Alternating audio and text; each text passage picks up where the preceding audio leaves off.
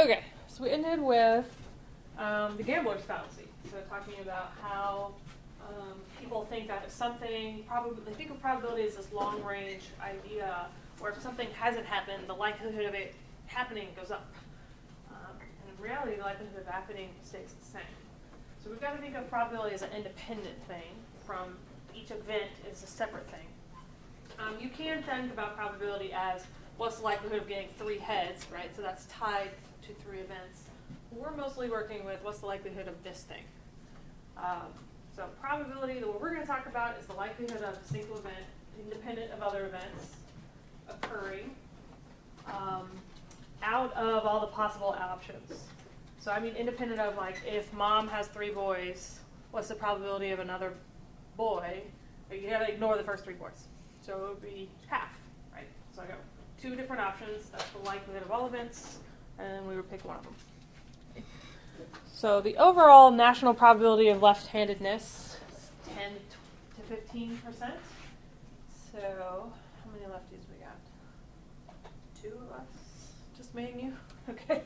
So two out of 19 is about 10 percent. So um, that's the number of total events happening over the number of possible events. Okay. Um, and that's why it's hard to estimate left-handedness. Um, and the probability is actually going up because we are um, now at generations where it wasn't a weird thing to be left-handed, and they didn't force people to change hands. Um, so there's a couple of ways to interpret probability. And we do a little bit of this uh, subjective interpretation, personal probability. That's actually one of the things that I made you do for this exam. I'll give you those results at the end. Um, but subjective uh, interpretation, so personal probability, it's your judgment of the likelihood of something happening. And I'll warn you, we are very bad at these things. Now you tell me, right? Um, so judgments of, of probability are particularly poor, otherwise no one would ever gamble, right? Um, and that's how people get good at things like poker, because they, they're thinking in terms of probability. And um, if you're interested in that sort of thing, they had was either Radiolab or Freakonomics recently a podcast about with one of the famous poker families and their interpretations of probability and why they're so good at playing poker. um, but as a researcher, we're supposed to move towards objective interpretations. Um, and so that's a relative long-term outcome. So I'm thinking like, if I did this study 100 times, how many times would I get this result? So it's the likelihood of after testing it multiple times. So the difference really between the two is this is a personal estimate. Uh, so what's the likelihood of your friend being late? And you, you just have a guess of this. Like do they're never late, they're always late, somewhere in the middle. Um, objective interpretation is if I followed them around and counted how many times they were late. So these are more estimates. We're really bad at it. We shouldn't do this. And these are more objective counting sorts of things. Otherwise, no one would play the lottery, right? Because objectively, they tell you what the odds are. Right? Uh, so how do we do the objective part? So we would take all the trials, all the times we would test something, the outcomes of the trials, so the likelihood of a success, that's the thing when you get what you're looking for, over the total number of trials. So likelihood of successful outcomes over total trials. This might be a little old now. This was happening the last time I taught this class. Uh, the Amanda Knox case, where she got convicted, I think, twice in Italy and once overturned, and it's a huge mess with the Italian court. So two thirds probability of being convicted. Um, she's back in the States, and we won't send her back because we don't believe in double jeopardy. So, all the different trials, um, and I guess they would consider that two times a success. so, when you're doing this on, this seems like really obvious, but sometimes people struggle with this. So, when you're doing this on your homework, um, you figure out how many total trials are there, and that's the denominator and then figure out the number of times they get what they're looking for, so a success. When people talk about um, win-loss ratios for sports teams, that's just probability. Um, so they figure out the likelihood of, you know, like how many times has um, Alabama beaten LSU at this particular way, right? so, the number of trials that I've beaten them, and then you just divide.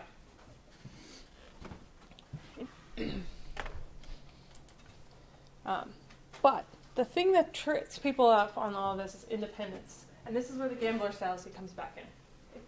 So the outcome of each individual trial is unrelated to previous trials. So independence is sort of the opposite of the gambler's fallacy.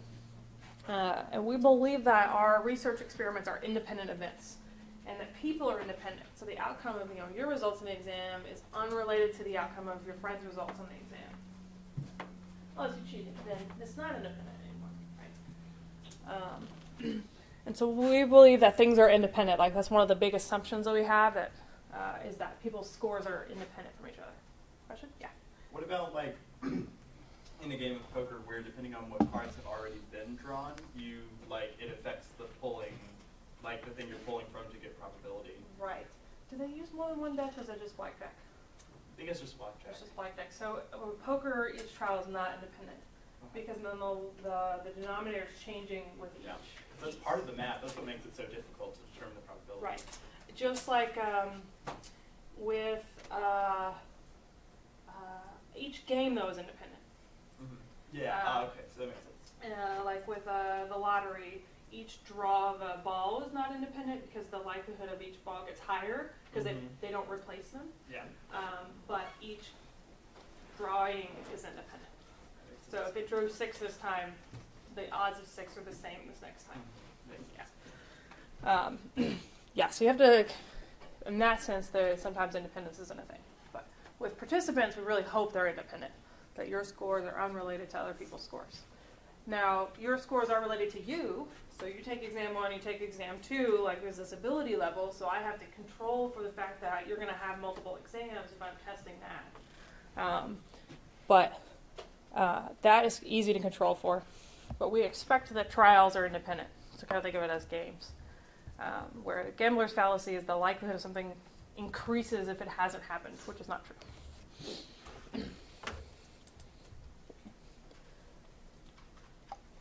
What does this got to do with stats?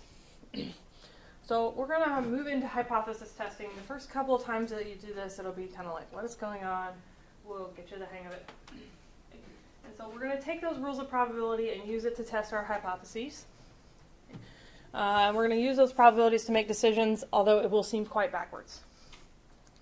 What we're going to do. So the first thing that you want to think about with a hypothesis is just of developing um, what are my variables and what are the levels of those variables if we're going to use um, nominal variables. so similar to the way we talked about graphs, we have to come up with what are the variables. So we might have one variable that's got a control group and experimental group. Remember that levels is just what are the groups. And then we're measuring the differences in their scores. Or I might have two um, uh, continuous variables that I want to correlate. We're going to start most of these with very simple, like this group versus that group. That's the easiest way to think about it.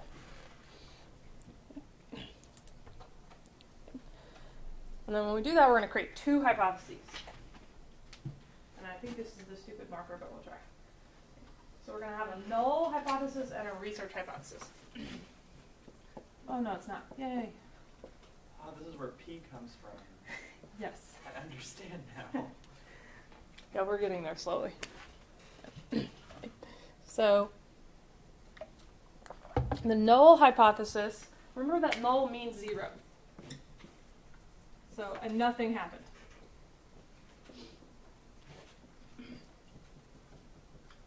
So, you might say that there's no difference between groups or levels. You might say there's no relationships between variables. So, it always has a no in there somewhere. No differences, no relationship, nothing happened, life is sad. So this is often you don't want this. Because you're doing a research study for a reason, and you generally want groups to be different or related. So this is kind of our bad bad hypothesis. It's not a bad hypothesis. I won't say that. It's the one we don't want to have happen. For the research hypothesis, sometimes this is called the alternative hypothesis, depending on what book you're reading. So if you see alternative, it's the same idea. We're going to call it research hypothesis. This is the one where it's the, the thing you want to have happen. So something happened,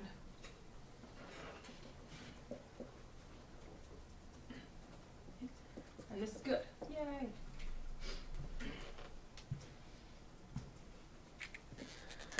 There are always two. You can have more, but there are always two. Why two? Because reasons in a second. But essentially, we're going to test this one. Yay! We don't actually test the other one. We're like it's like Sherlock Holmes. Um, what we're going to do is test if nothing happened, and if that's incorrect. So this is almost a double negative. If not nothing, then something. And so I always think about it like Sherlock Holmes because it's like you're ruling out other explanations so that this has to be true.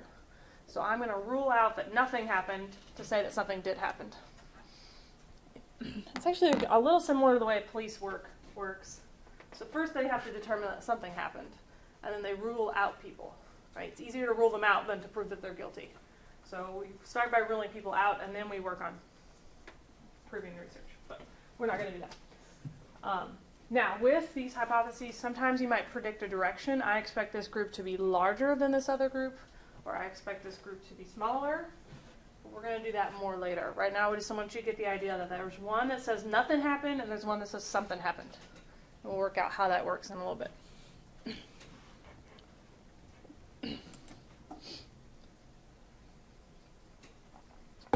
I have an example in here of one of these setups. So, if I'm trying to make a decision, so I have my two hypotheses. Now I want to make a decision about what happened in my study. There's two options. I can reject the null and can say it's not true, it's unlikely. I can conclude that I found a difference. This is when somebody says it's statistically significant, is the fancy phrase, okay, which is just difficult to say, so I don't know why we use it. So I'm rejecting the null to show that this is true. Or I can fail to reject the null.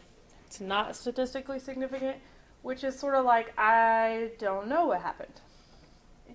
So if we reject the null, we're saying that this thing is totally unlikely, it's probably not true, therefore this thing is true. So we don't ever we create a research hypothesis, but we never actually test it, which is very confusing to people at first. Um, nor do we ever prove the research hypothesis, so don't use the word prove, um, or disprove it. It's just there. It's like your friend hanging out in the room. So we're going to reject the null. Uh, there is, this is unlikely, therefore this is true. Or fail to reject the null, therefore I'm not sure what happened. This might be true, this might be true, but in our study we don't have any evidence to support doing something about it. And this is back to that file drawer effect. So when people fail to reject the null, you don't really know what happens. Like, I didn't find a difference. Maybe I did something wrong. Maybe I have outliers. Maybe something's weird. Maybe there is no difference. So there's almost too many options. So people just don't publish that stuff because it's unclear what happened. Why is it all about the null? I don't know. Okay, but it is called null null hypothesis significance testing. Ugh. So if you ever see NHST, they're talking about this system where I set up two hypotheses, but I'm all about I'm rejecting and accepting the null. Not accepting, failing to reject the null. all right. Um, and then this is just a cute little table that summarizes everything I had. But you'll notice that I never actually re- accept anything. So if you're working on those multiple choice and it says accept the whatever, that's automatically just a filler answer. So we never accept anything. We reject it or we fail to reject it, and those are the only words we use. yes. So let me give you an example.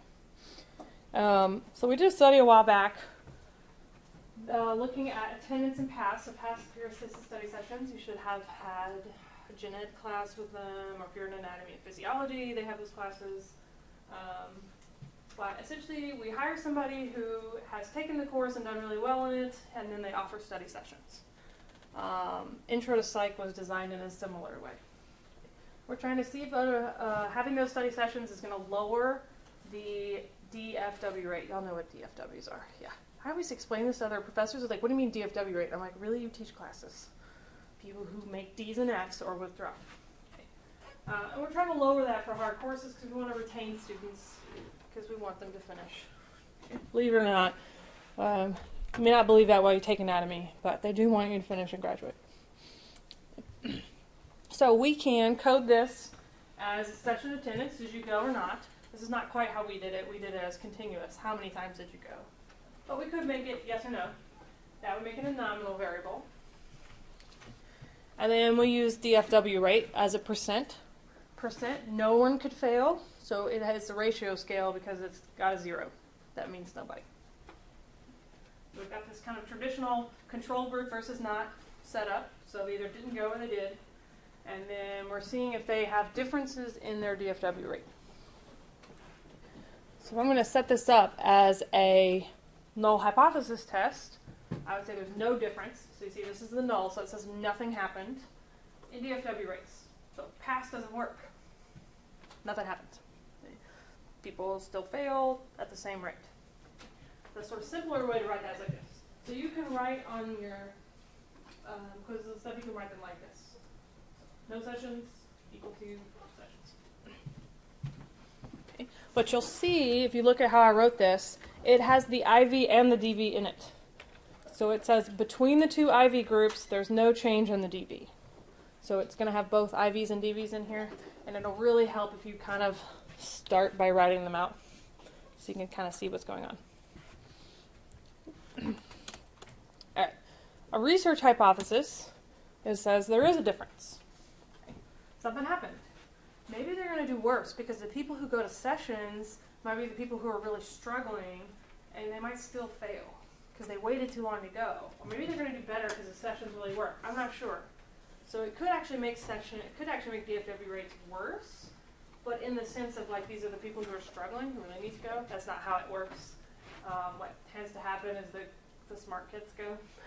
Um, or maybe it'll make it better. So I didn't predict a direction. I just said something's going to happen. We'll see. So I can write that as not equal to. Right. So I've got my nothing happened and something happened. And then I would test that. So let me show you a table from our study. Okay, BMS courses. So this is never, and this is at least once. Um, it gets better the more you go because you're studying more. Shock, right? But if you look at never attended a class, the DFW rate is 40%. That's anatomy, physiology, and intro to BMS, so 110. If you go to at least one, the DFW rate is only 20%. So it dropped 20%. That's a lot of students. in a lot in these courses. Okay. Uh, with the chemistry too, I forget exactly which chemistry courses, but I believe organic is in there. So the other big weed out class for the BMS, CAMB measures, right? Um, so it drops half as well. Economics, so that's macroeconomics, 150, what is it? Five, I think? Yeah. Um, and they were a little surprised because they didn't feel like economics was working, but it does drop as well. And then psych, that we used to be this course before it became an honors course. Um, and so 200, and it drops quite a lot. And we have the help desk now since we don't do pass. So it does work. Yay! So if you, if you have a pass in your class, you should go. Um, but that was really a nice way to show that it was working so they would keep giving them money. And then the fun part is that, oh, I have it listed as SI. SI is what uh, most people call it. We call it pass. And I actually was an SI leader a million years ago as well. So partially I'm interested because I used to do this. So I would f- reject the null. It was significant. But I think I have examples of both here. So if I rejected the null, I'm supporting the idea there's a difference in DFW rates for pass. And mainly it's a decrease, just looking at the results. I predicted something would happen, so and then I look at it and I say, okay, the scores are going down, that's good in this case. If I had failed to reject the null, though, so let's say nothing happened, I failed to find a difference, so I don't support the research hypothesis, but that may be because the sample is weird. Maybe we had a semester that just the sample was strange. Um, maybe there really isn't a difference between people who go and people who don't go, and maybe it's chance. Okay, So there's always that little bit of chance.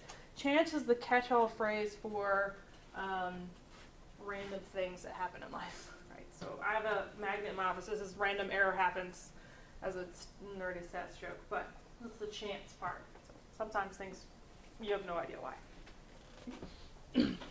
I look at the difference between these two. So if I fail, if I reject the null, I'm supporting the research. Right. If I fail to reject the null, I'm basically saying I don't know what happened. It could be this or this or this or this, but I don't know about this. One thing that people do that's incorrect is if they fail to reject the null, they say the null is true. That's not how this works. So if you fail to reject the null, the null could be true, the research could be true, we're not sure. So we don't have enough evidence to make a decision really. Can't you also like reject more fully reject the null and like like Meaning can't you have like different amounts of reject? Like you could say it's more Mm. probable that no. Uh, with null hypothesis testing, it's very black and white thinking. okay. You reject or you don't. When we get into effect size, that's when we're going to talk about how much should I care. Okay. So there's another piece that measures that how much. Okay. That's one people problem people have with uh, NHST and the null hypothesis testing is that it is very black and white, and we all know the world is not like that. But the hypothesis testing is like, here's my line in the sand, I reject it or I don't. so back to what does that got to do with probability? You started with probability. Why are we? What, what's going on? We're determining this rejection thing based on probabilities. And this is where people are like, what is going on? So we want to, it's null hypothesis testing. So we're testing the null, but we don't want the null to be true because of the sad frowny face. So if we don't want this to be true, we want the probability of it being true to be really small. So we want small probabilities, which is backwards. You normally think like I want to be like kind of your question like I want to be really sure I'm right. But this is null backwards testing. So we gotta think about it. So we want to test if the null is true, so we want a small probability. So we're going to use P for probability.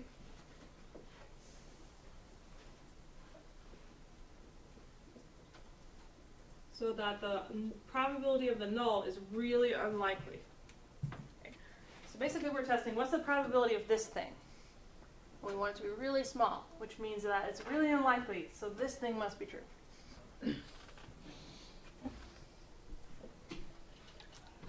I used to joke that this was Rock'em Sock'em Robots. I use that example in my other class, and we're trying to say that the likelihood of this thing winning is very small. If you like sports, these analogies make sense. You're not like so much in the sports, I don't know. Sports are great examples, but we want the likelihood of something happening to be really small. Um, and that leads me into this little table I'm going to make. Has ever got this thing on the board? Yeah. So I'm testing the null.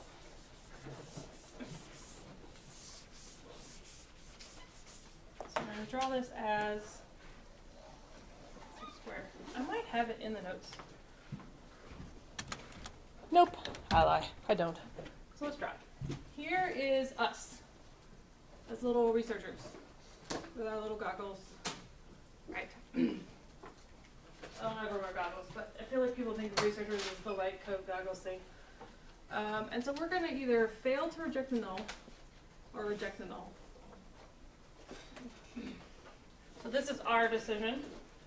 Somehow, magically, we know the real answer. So we either fail to reject the null or we reject. So the way people talk about type 1 and type 2 here in a second is they make up fake studies where they know what the answer is and then test how many times people get the wrong answer. So this is sort of like battleship.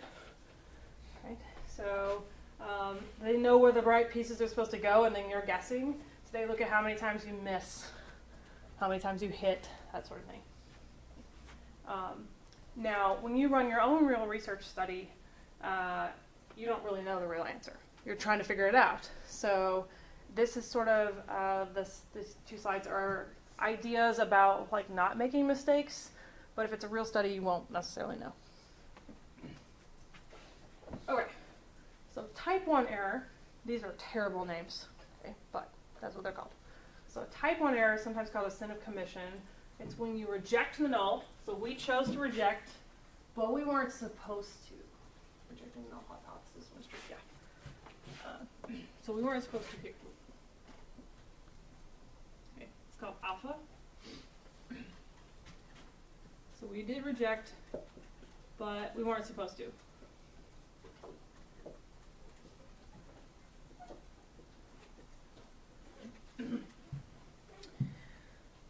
Um, the way I remember this one is a Sicily mnemonic. It's the first mistake, so type 1 is the worst mistake. Because that's when you say something happened and it didn't. So if you say something happened and it didn't, then people are going to base their research on that. And they're going to follow this line of research that didn't actually, wasn't supported. Um, this is very similar to that autism debate where the first study, the big one, everybody cites that has since been retracted. And he said, oh, I made it up. First mistake is the worst mistake. Most of our social science research doesn't have those sorts of con- consequences, but that's a really very good example of a type 1 problem. Okay. Actually, he was just freaking lying. But let's pretend that he wasn't for a second. Um, and he said something happened and it didn't. It's not always malicious. Type 2 is when we decide um, we failed to reject the null, but we should have. So here. This is beta. So we missed it.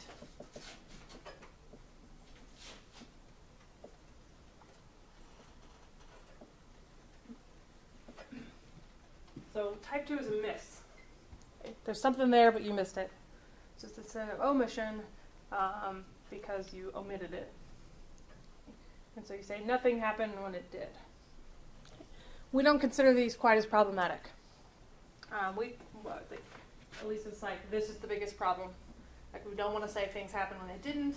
If we miss something, it's unfortunate, but it doesn't tend to get published, so we don't like you know, you missed it. Okay. So it's sort of uh, we find these much worse than these.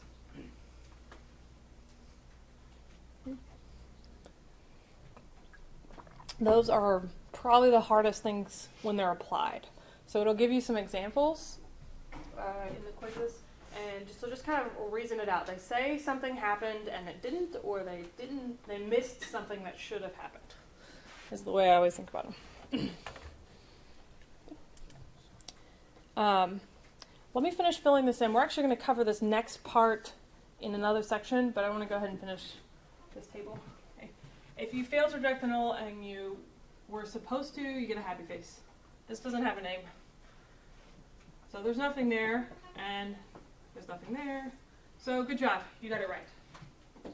This box, though, is called power. That's when you rejected the null and you were supposed to. You found the thing that was there. Yay, so that's the happy box. So this is like a mildly unhappy box because you failed to reject something you weren't supposed to reject, which is good, you got it right statistically, but your study, you just have the wrong idea. This other one's called power. So I rejected the null when I was supposed to, so I had the power, oh, I have the power to find the thing I'm looking for. One problem people have is they think type 1 and type 2 are opposites. They are not opposites. They're different in different columns. Um, they sound like opposites, but they're not. Okay? Power and beta are opposites. These two are on a seesaw, but they're not opposites.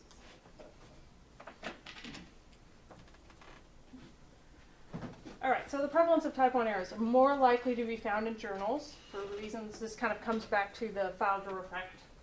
So we're much more likely to result positive outcomes, meaning times that we rejected the null. So basically, this is the column that gets reported in journals. This stuff doesn't. Right? So type 2 errors just happen in the lab and you throw it away. Type 1 errors get published sometimes. And so um, sometimes it's hard to distinguish between when it's power and people found what they were looking for and it's type 1. and that goes back to that study of uh, reading people's minds versus the um, bystander effect. So we do have ways to test if a type 1 error happened in that file drawer issue. Um, they're um, much more math than you probably ever want to know. But uh, we do have ways to tell which one is which. No, we're not always right, because humans. But type 1 error is one thing that people really struggle to make sure we don't have happen. All right, and I think that effect size thing, to answer your question, is in uh, like six or s- one of the next chapters. Okay. But we will get into how much should I believe these results? Like, okay, I rejected the null, now what? We'll get into that. Yeah. So did you think of rejecting the null